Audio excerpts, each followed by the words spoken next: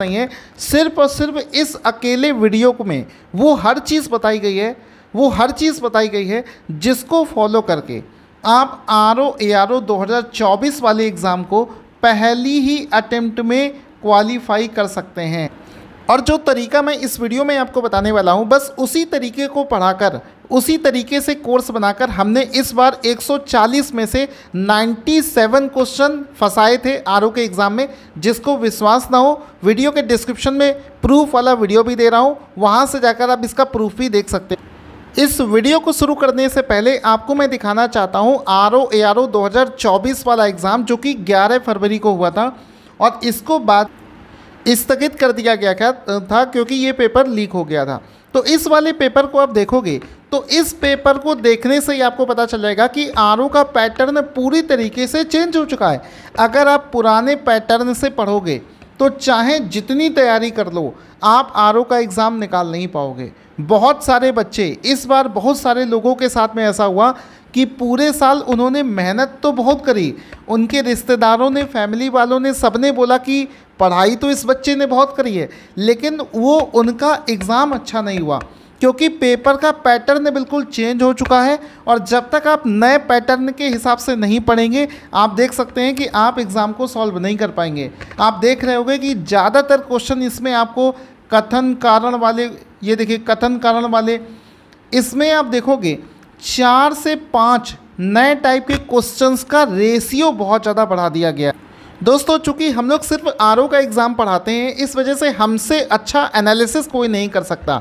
अगर पूरे पेपर में 140 क्वेश्चन जो जीएस के पूछे गए हैं, उसमें अगर रेशियो वाइज देखोगे तो केवल 60 परसेंट क्वेश्चन ऐसे हैं जो कि पुराने फॉर्मेट यानी कि जिसमें हमें चार option A B C D इनमें से कोई एक सही करना होता था, यानी कि सिंगल ऑप्शन सही वाला क्वेश्चन 60 परसेंट पूछे जाते हैं। जो नए टाइप के क्वेश्चन ऐड किए गए हैं पहले वो 10 परसेंट आते थे, लेकिन अचानक से इस बार 40 परसेंट क्वेश्चन नए फॉर्मेट पर दे दिए गए हैं। तो 40 परसेंट क्वेश्चन जो नए फॉर्मेट पर हैं, वो कौन कौन से हैं? आजकल लेटेस्ट लिस्ट वाले क्वेश्चंस पूछे जा रहे हैं। यानी कि एक लिस्ट यहाँ दी होगी, एक लिस्ट यहाँ पर दे दे दिया जाएगा, और इसमें आपको क्रॉस मैच कराना होता है कि कौन सा क्वेश्चन किस, कौन सा ऑप्शन किससे मैच हो रहा है। दूसरा एक आता है कि क्रॉस मैचिंग वाला, यानी कि आपको दो लिस्ट दे दी जाएगी और इसमें पूछा जाएगा कि बताओ कौन सी लिस्ट सही से मैच नहीं हो रही है।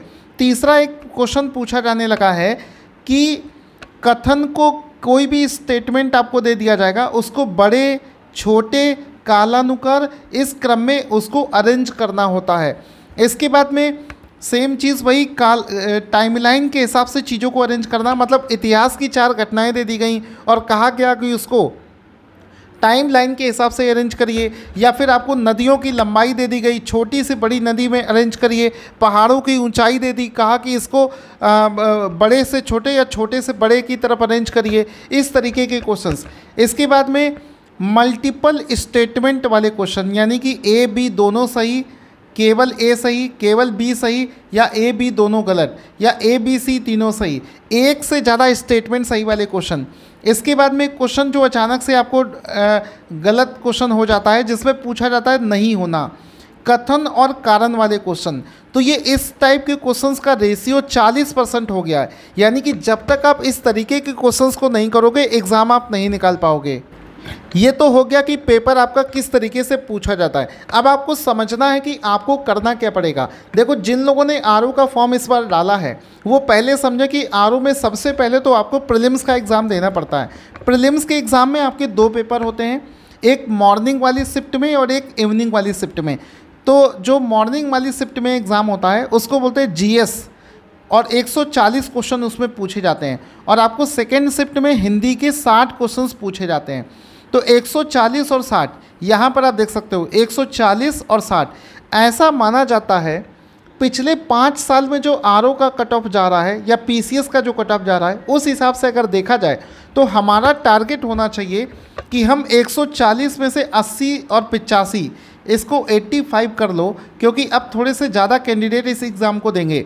और यहाँ पर हिंदी में लगभग 50 क्वेश्चन अगर आप सही कर दो तो 135 से 140 क्वेश्चन अगर आप सही कर पा रहे हो तो आपकी कट ऑफ़ निकलने से कोई रोक नहीं सकता। हालाँकि ये चीज़ डिपेंड इस बात पर भी करती है कि अगर मान लो पेपर कुछ ज़्यादा ही टफ आ गया तो ये थोड़ा सा कम भी हो सकता है। लेकिन जिस हिसाब का ट्रेंड अभी तक चल रहा था, उस हिसाब से 135 से 40 क्वेश्चन 2024 के हिसाब से अगर आपके आ जाते हैं तो आप आसानी से इस कट ऑफ़ को निकाल सकते हो।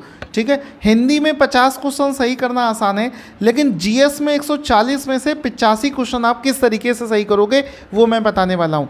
एक और छोटी सी चीज़ बता देता हूँ कि हमने जिस प्लानिंग से इस इस हमने अपने कोर्स में पढ़ाया है, उस प्लानिंग के हिसाब से 97 क्वेश्चन हमने इस बार, इस एग्ज़ाम में फंसाए थे। अब आपने टारगेट समझ दिया अब ये समझो कि आरओ और एआरओ के एग्ज़ाम में सिलेक्शन के लिए कितने नंबर लाने होते हैं। अगर पिछले साल का कंपैरिजन करें तो पिछले साल में मैंने पर्सनली जो स्टूडेंट से पूछा है, जो सेलेक्ट हुए हैं 127 नंबर पर। यानी कि 100 ये 200 में से 127 नंबर पर लास्ट सेलेक्ट स्टूडेंट पाया गया है। ठीक है? 127 से 135 नंबर के बीच में पिछले साल का कट ऑफ़ रहा था। और मेंस का पेपर 400 नंबर का आता है, वहाँ पर कट ऑफ़ 275 से 280 के बीच में लगती है। यहाँ पर आप देख सकते हैं, ये एक्सपेक्टेड कट ऑफ़ है। General OBC female schedule caste schedule tribe सारी कैटेगरीज वाइज इसमें कट ऑफ़ दे रखी है। जिसकी जो कैटेगरी हो, उस हिसाब से इसका स्क्रीनशॉट लेकर देख सकता है। अब ये समझो कि हम आपको किस तरीके से पढ़ाएँगे कि कम पढ़कर भी आप इस एग्ज़ाम को पढ़ पाओगे। देखो सिलेक्शन लेने के लिए आपको बेसिकली चार चीज़ों की ज़रूरत होती है। सबसे पहले कि आपको डायरेक्शन लेस यानी कि आपको सही डायरेक्शन मिलनी चाहिए और गाइडेंस आपको बहुत बढ़िया मिलना चाहिए।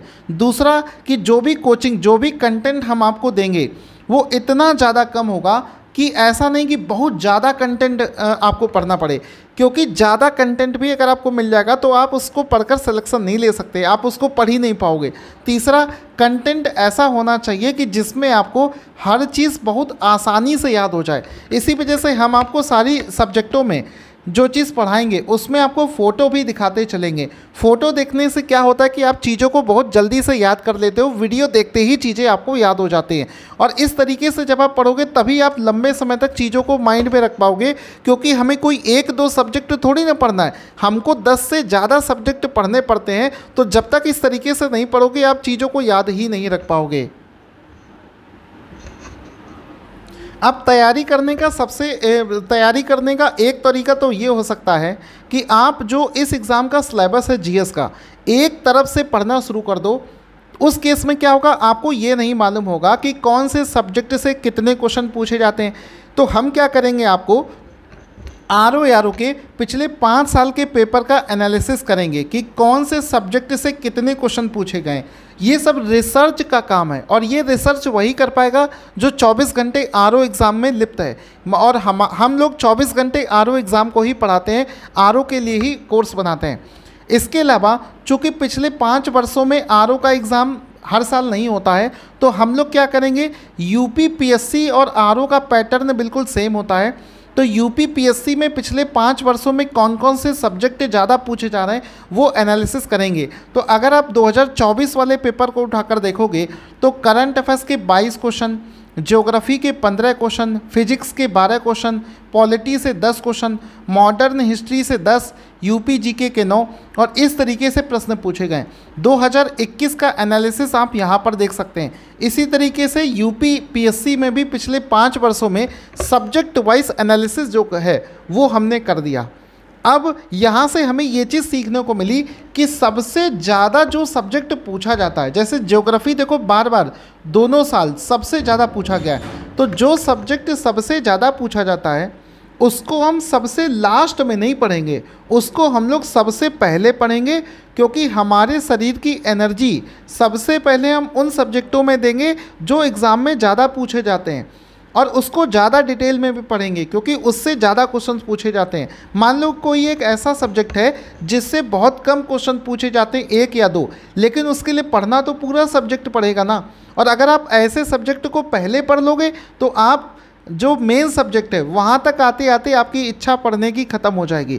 तो ये सब प्लानिंग के साथ में आपको पढ़ाएँगे। सबसे पहले वो सब्जेक्ट जो एग्ज़ाम में ज़्यादा पूछा जाता है और जो चीज़ एग्ज़ाम में कम पूछी जाती है, उसको हम लोग बाद में पढ़ेंगे। इस तरीके से जब आप पढ़ोगे तो पहली बार में ही गारंटी के साथ मैं कह सकता हूँ, आप एग्ज़ाम निकाल लोगे। तो ये हो गई पूरी पेपर की एनालिसिस अब आपको आगे क्या करना है? अब आ जाती है पढ़ने की बारी। एनालिसिस आपने कर ली। एनालिसिस के बाद में जब आप सब्जेक्ट को पढ़ना शुरू करोगे तो आप क्या करोगे? जैसे मान लो आपको सबसे पहले पढ़ना है हिस्ट्री फॉर एग्ज़ाम्पल तो हिस्ट्री की कौन कौन सी बेस्ट बुक हैं? तो आप देखिए, एक सब्जेक्ट को जब आप पढ़ने चलोगे तो उसकी एक नहीं, कई स्टैंडर्ड बुक आपको रिकमेंड करी जाएँगी। अलग अलग वीडियोस में आप देखोगे, लोग आपसे बोलेंगे कि आपको एन पढ़नी पड़ेगी क्लास सिक्स से लेकर ट्वेल्व के। ठीक है? इसके अलावा एंशियंट हिस्ट्री के लिए आर एस शर्मा एक अच्छी बुक आती है। इसके अलावा मॉडर्न हिस्ट्री पढ़ने के लिए स्पेक्ट्रम और स्पेक्ट्रम और ये बिपिन चंद्रा, ये बुक रिकमेंड करी जाती है। तो आप समझिए कि आरओ के, इस बार का जो आरओ का पेपर आया है, अगर आप उस पेपर को उठाकर देखोगे तो उस हिसाब से एक सब्जेक्ट में कुछ चीज़ें इस बुक में अच्छी दे रखी हैं, कुछ चीज़ें इस बुक में अच्छी दे रखी हैं और कुछ इस बुक में अच्छी दे रखी हैं। तो आप एक ही सब्जेक्ट की चार किताबें नहीं पढ़ सकते हो। अगर आप पढ़ने की कोशिश करोगे तो आपको दो तीन साल लग जाएँगे इस एग्ज़ाम को क्रैक करने में। तो हमने क्या किया है कि हमने आरओ के पेपर को एनालिसिस करके उसमें जिस बुक से जो टॉपिक इंपॉर्टेंट है आरओ के हिसाब से, उसको निकाल लिया। मान लो यहाँ से कुछ चीज़ें निकाली कुछ चीज़ें यहाँ से निकाली और कुछ चीज़ें यहाँ से निकाली। और हर जगह से हम अपने एक कोर्स को बनाने के लिए छः किताबों को फॉलो करते हैं। और इन छः किताबों से निचोड़, हम एक निचोड़ इसका तैयार करते हैं। तो आपको बताना चाहूँगा, जैसे मान लो आप हिस्ट्री अगर पढ़ोगे तो हमने अपने बैच में, हमारा बैच इसीलिए लोग ज़्यादातर खरीदते हैं क्योंकि हमने अपने बैच में क्या किया कि क्लास सिक्स से लेकर ट्वेल्थ तक की जो एन है इसके जो टॉपिक ज़्यादा इंपॉर्टेंट है, उसका एक निचोड़ निकाला। ठीक है? स्पेक्ट्रम जिसमें मॉडर्न हिस्ट्री पढ़ाई गई है और बिपिन चंद्रा। हमने हिस्ट्री में ये बुक्स फॉलो करी हैं, इस वजह से आपको बताना। स्पेक्ट्रम बिपिन चंद्रा। इनको, इनका भी एक निचोड़ तैयार किया। फिर आपकी जो नितिन सिंगानिया की बुक आती है आर्ट एंड कल्चर उसका निचोड़। आर एस शर्मा से एंशियंट और सतीश चंद्रा से मेडिवल हिस्ट्री। इन सारी किताबों को, जिसको पढ़ने में शायद आपको पाँच से छः महीने लग जाएँगे, इसका हमने एक निचोड़ तैयार किया और उस निचोड़ को आपको दे दिया।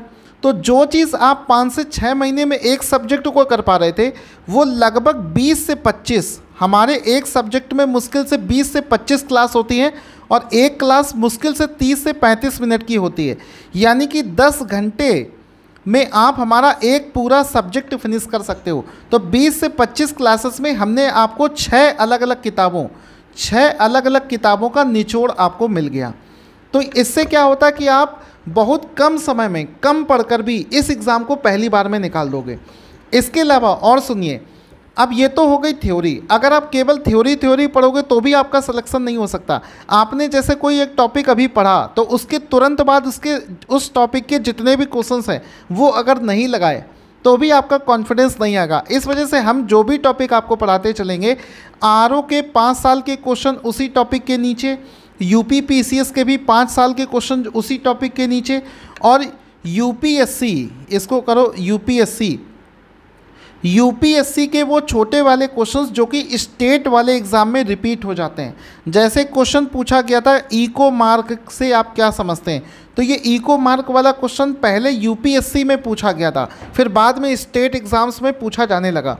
तो इतनी कोशिश करके हमारा पूरा एक सब्जेक्ट तैयार होता है, ठीक है? अब यहाँ पर ये सब किताबें, इसी तरीके से हमारा जो ज्योग्राफी का कोर्स है, वो सिक्स से ट्वेल्व एन पर बेस्ड है। साथ ही साथ में हमने महेश कुमार बर्नवाल फॉलो किया है। वर्ल्ड ज्योग्राफी के लिए सी जी लियोन की बुक हमने फॉलो करी है। माजिद हुसैन से हमारा ज्योग्राफी का कंटेंट लिया गया है। और वर्ल्ड ज्योग्राफी के कुछ टॉपिक हमने माजिद हुसैन से भी बनाए हैं। ठीक है? तो इन सभी किताबों को या तो आप अलग अलग परचेज करके पढ़ें, या तो हमारा जो कोर्स इन सब किताबों का निचोड़ करके बनाया गया है, उसमें ये तीस लेक्चर में पैंतीस पैंतीस मिनट के, पैंतीस पैंतीस मिनट के तीस लेक्चर में पूरी ज्योग्राफी हमने फिनिश कर दी है। यानी कि मात्र पंद्रह घंटे पंद्रह घंटे। पूरे इंडिया में कोई भी ऐसा कोर्स आपको नहीं मिलेगा कि पंद्रह घंटे में पूरी ज्योग्राफी भी फिनिश कर दिए और साथ ही साथ में उसके पाँच साल पुराने आरओ के यू के और यूपीएससी के तीनों के क्वेश्चंस भी करवा डालें तो थ्योरी प्लस क्वेश्चन दोनों जब एक ही साथ पढ़ोगे, तब आपके पहली बार में एग्ज़ाम निकल जाएगा। साथ ही साथ में इंडियन पॉलिटी के लिए एन और लक्ष्मीकांत को फॉलो किया है। इकोनॉमिक्स एंड सोशल डेवलपमेंट के लिए एन रमेश सिंह योजना और कुरुक्षेत्र जैसी मैगजीन को रेफ़र किया गया है। तो ये पूरी प्लानिंग है जिससे आपको फॉलो कर अब आप लोग जो गलती करते हो, आपको नहीं करनी है। जैसे कि अगर आप एक तरफ़ से सब कुछ पढ़ना शुरू करते हो खुद से, किताबों से, ये गलत तरीका होता है। ठीक है? जो चीज़ ज़्यादा पूछी जाती है, जैसा कि मैंने बताया, वो चीज़ पढ़ोगे, ये बिल्कुल सही तरीका होता है। अगर आप किसी बैच से केवल थ्योरी पढ़ोगे, गलत तरीका होता है। अगर आप केवल क्वेश्चन लगाओगे, घटना चक्र वगैरह लगाना शुरू कर दोगे तो वो भी गलत तरीका होता है, क्योंकि आप कॉन्सेप्ट नहीं डेवलप कर पाओगे। और अगर आप पेपर उठाकर देखोगे तो आप ये पाओगे कि पेपर अब फैक्चुअल पेपर नहीं बनता है। जब तक आप कॉन्सेप्ट डेवलप नहीं करोगे, तब तक आप इस एग्ज़ाम को नहीं निकाल पाओगे। कॉन्सेप्चुअल क्वेश्चन आजकल एग्ज़ाम में पूछे जाते हैं। और कॉन्सेप्ट आपका तभी डेवलप होगा, जैसा कि मैं आपको बता रहा हूँ कि सबसे पहले तो किसी भी चैप्टर की थ्योरी पढ़ो और उस थ्योरी के साथ साथ में जितने भी क्वेश्चंस बन सकते हैं, वो सारे के सारे क्वेश्चंस जब तक आप नहीं लगाओगे, तब तक आपकी तैयारी नहीं होगी। तो सबसे बेस्ट तरीका यही है जो मैं आपको शेयर कर रहा हूँ कि तुरंत के तुरंत कोई टॉपिक पढ़ो और उसके जितने भी क्वेश्चंस हैं वो लगा डालो। तब तो वो टॉपिक आपका तैयार होगा। अदरवाइज़ आप भटकते रहोगे, मेहनत बहुत करोगे, लेकिन एग्ज़ाम आपका नहीं निकलेगा। हमने इस प्लानिंग से जब पढ़ाया था, इसी प्लानिंग से हमने 140 में से 97 क्वेश्चन फंसाए थे। अब एक चीज़ और समझना, आपको एक और ट्रिक की बात बताता हूँ। जब आप इसको जानोगे तो आप भी सॉक्ड हो जाओगे। देखो, अब इसमें क्या है कि समझना मेरी बात को कि जैसे मान लो जीएस के 140 क्वेश्चन पूछे गए 140 क्वेश्चन में से लगभग 70 क्वेश्चन ऐसे होते हैं जिनको आप पहले से ही प्रिडिक्ट कर सकते हो। यानी कि वो टॉपिक फिक्स हैं बिल्कुल। इनके जो टॉपिक हैं, वो बिल्कुल फिक्स हैं कि इन टॉपिक से वो क्वेश्चंस आने हैं। और बचे हुए सत्तर क्वेश्चन में क्या होता है कि previous year question previous year previous year में जो क्वेश्चंस पूछे गए हैं, वो क्वेश्चन रिपीट नहीं होंगे। लेकिन वो क्वेश्चन जिस टॉपिक से पूछे गए वो टॉपिक रिपीट कर जाता है। तो यहाँ से मान के चलो, जैसे अगर करंट जीके की बात करो तो करंट जीके में हमने वो सत्तर से अस्सी सॉरी पचहत्तर ऐसे टॉपिक बना रखे हैं, जिनसे क्वेश्चन बार बार रिपीट हो रहे हैं। और जहाँ से क्वेश्चन पहले से पता है कि बार बार क्वेश्चन उस टॉपिक से पूछा जा रहा है तो उसको आप पहले पढ़ लो ना। उसको अलग से एक सेपरेट फोल्डर बना के आपको पढ़ाया गया है। तो जैसा कि आपको बताऊँ एशियन गेम्स बार बार पूछा जाता है। Elephant reserve report forest report, national film award, Nobel prize 100 percent आना है। स्मार्ट सिटी अवार्ड 100 परसेंट आना है। Tiger reserve, Uttar Pradesh budget, केंद्रीय बजट, चंद्रयान थ्री। ये 2024 वाले पेपर के हिसाब से मैंने लिस्ट तैयार करी थी। यहाँ से आप 2024 वाला पेपर उठा के देख लो। एक एक क्वेश्चन आपको मैच हो जाएगा। ठीक है? इसके बाद में देखो सब्जेक्ट वाइज एनालिसिस भी हमने कर रखी है कि हर एक सब्जेक्ट में अगर आपके पास में समय ज़्यादा नहीं है तो सिर्फ़ इतना भी पढ़ लोगे तो भी एग्ज़ाम निकलने के चांसेस बहुत ज़्यादा रहेंगे। ये वो सारे टॉपिक हैं, जैसे कि भारत की मिट्टियाँ, आप पेपर उठा के देख लो, पिछले पाँच सालों में बार बार ये चीज़ें रिपीट हुई हैं। मृदा अपर्दन, ठीक है? भारत में कृषि, खरीफ की फ़सल, रबी की फ़सल, नकदी की फ़सल, भारत में तिलहन दलहन, रेशम, बागानी फ़सलें, जूट, यहाँ से बिल्कुल श्योर शॉट है कि क्वेश्चन एग्ज़ाम में आना ही है। तो इसी तरीके से हमने सारे सब्जेक्टों में ये चीज़ बना रखी है कि जहाँ से क्वेश्चन हंड्रेड परसेंट आना है इसी वजह से आपका टाइम बचता है और कम समय में आप बढ़िया तैयारी कर लेते हो। साथ ही साथ में इस बैच में हम आपको एक और चीज़ दे रहे हैं, जिसको कहते हैं ब्रह्मास्त्र। इस ब्रह्मास्त्र में हम क्या करा रहे हैं? देखो, सत्तर से अस्सी क्वेश्चन तो हमने आपके वो टॉपिक करा दिए जो बार बार रिपीट हो रहे हैं। अब ब्रह्मास्त्र में क्या है? देखो, क्या हो रहा है कि आजकल लोग घटना चक्र से पिछले पाँच सालों के क्वेश्चंस लगा रहे हैं, जो कि बिल्कुल गलत है, क्योंकि अब प्रीवियस ईयर क्वेश्चन एग्ज़ाम में रिपीट नहीं होता है। हम क्या करेंगे? घटना चक्र में आपको क्या देंगे? पिछले पाँच वर्षों के जो क्वेश्चंस एग्ज़ाम में पूछे गए हैं, वो क्वेश्चंस नहीं करवा रहे। हम वो क्वेश्चन जिस टॉपिक से पूछा गया, वो पूरा का पूरा टॉपिक ही पढ़ा दे रहे हैं। इस वजह से वहाँ से क्वेश्चन फंसने के चांसेस बहुत ज़्यादा हैं। जब इतनी तिकड़म भिड़ाकर मैंने पढ़ाया है, इसी वजह से किसी को विश्वास ही नहीं होता कि एक सौ सत्ता एक सौ चालीस में से सत्तानवे क्वेश्चन भी कोई कोचिंग फंसा सकती है। इतनी एनालिसिस करके अगर पढ़ाया जाएगा तो क्वेश्चन फंसना बिल्कुल तय है। और ये कौन कौन से टॉपिक हैं?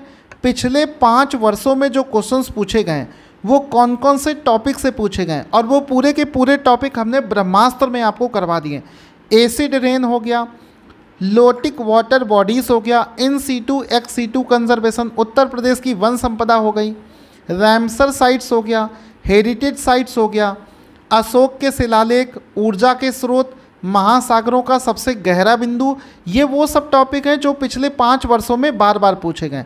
मैं आपसे कहता हूँ, आप अगर पूरा कोर्स ना पढ़ो, केवल यही यही भी एग्ज़ाम टाइम में पढ़ के चले जाओगे ना, आप विश्वास मानो कट ऑफ़ के बिल्कुल पास आ जाओगे। मतलब केवल और केवल 15 से 20 दिन भी हमारे कोर्स से अगर आप पढ़ लोगे तो कट ऑफ़ निकालने के बिल्कुल करीब आ जाओगे। और जिसने पूरा कोर्स ले लिया, वो तो गारंटी के साथ कह सकता हूँ कि बड़े आराम से एग्ज़ाम निकाल लेगा। ठीक है? सबसे बड़ी खास बात यह है कि ऐसा नहीं कि हमने बहुत, कोई भारी भरकम बहुत बड़ा कोर्स दे दिया हो जिसको आप पढ़ ना पाओ। इतना छोटा कोर्स है कि हमारे जो सारे सब्जेक्ट हैं, बायोलॉजी केवल 20 क्लास में ख़त्म, मॉडर्न हिस्ट्री 22 क्लास में ख़त्म, मेडिवल हिस्ट्री 18 लेक्चर में फिनिश एंशियंट 18 ज्योग्राफी 30 क्लास में, पॉलिटी 29 क्लास में इन्वायरमेंट 12 क्लास में और यूपी जी के 10 क्लास में। और एक एक क्लास हमारी केवल 30 से 35 मिनट की क्लास होती है। और एक एक क्वेश्चन को फ़ोटो दिखाकर समझाया गया है कि आपको जल्दी से याद भी हो जाए। यानी कि आप समझो कि 35 मिनट की क्लास का मतलब है 10 से 15 घंटे भी लगातार बैठ जाओ तो हमारा एक सब्जेक्ट आप पूरा फिनिश कर सकते हो। और उसी बैच में इकलौता ऐसा बैच है पूरे इंडिया का जिसमें थ्योरी प्लस क्वेश्चन दोनों करवा दिया गया है। यानी कि अलग से ना तो आपको कोई थ्योरी वाली बुक परचेज़ करनी है और ना तो कोई क्वेश्चन वाली बुक परचेज़ करनी है। नहीं तो बाकी सब जगह क्या होता है कि आपको थ्योरी पढ़ाई जाती है क्वेश्चंस लगवाए नहीं जाते हैं, फिर आपको अलग से क्वेश्चन करने के लिए बुक खरीदनी पड़ती है जिसमें पाँच से दस हज़ार रुपये खर्च हो जाते हैं। हमने सारे सब्जेक्टों को टॉपिक वाइज पढ़ाया है। पाँच साल में क्या चीज़ पूछी जा रही है उस ट्रेंड के हिसाब से पढ़ाया है। आरओ के पाँच साल के क्वेश्चंस करवा दिए हैं, यूपी पीसीएस के पाँच साल के क्वेश्चन करवा दिए हैं और एनसीईआरटी जैसी सभी स्टैंडर्ड किताबों के क्वेश्चंस करवा दिए गए जब आप इस तरीके से पढ़ोगे तो विश्वास मानो इतनी एनालिसिस के साथ में आपको कोई पढ़ा नहीं सकता है। क्योंकि हम ऐसा कर पा रहे हैं, क्योंकि हम सिर्फ़ आरओ का ही पढ़ाते हैं। आरओ के अलावा हम कोई दूसरा एग्ज़ाम पढ़ाते ही नहीं हैं। फ़र्स्ट अटेम्प्ट में आप हमारे इस एग्ज़ाम को क्वालिफाई कर लोगे। और आपको एक चीज़ बताना चाहता हूँ कि लगभग 125 127 नंबर जो कट ऑफ़ जाती है, उससे कम से कम 20 नंबर ज़्यादा लेकर आओगे। हमारे जो स्टूडेंट हैं, इस बार का जो पेपर कैंसिल हुआ है, उसमें 150 145 एक बच्चे के एक सौ इकसठ इतने नंबर्स लेकर आ रहे हैं। क्योंकि सत्तानवे क्वेश्चन अगर किसी कोचिंग से फंस जाएँ तो सोचो कि कितना आसान हो जाएगा उस बच्चे के लिए कट ऑफ़ निकलना। आप चाहे जॉब करते हो हाउस वाइफ हो, या फिर वर्किंग हो, या फिर आप स्टूडेंट हो, कोई भी केस में आसानी से आप एग्ज़ाम निकाल सकते हो इस बैच को पढ़कर। जो जो तरीका मैंने आपको बताया, उसको अगर फॉलो करोगे तो पहली बार में ही एग्ज़ाम आपका क्वालिफाई हो जाएगा। हमारा बैच लेने के लिए आप हमारे मोबाइल एप्लीकेशन को डेवलप डाउनलोड कर सकते हो या फिर मेरे नंबर पर व्हाट्सएप पर आर लिख कर भेज सकते हो। Seven two three eight nine six nine two nine seven और इसी तरीके को फॉलो करके पहली बार में आप एग्ज़ाम को निकाल लोगे।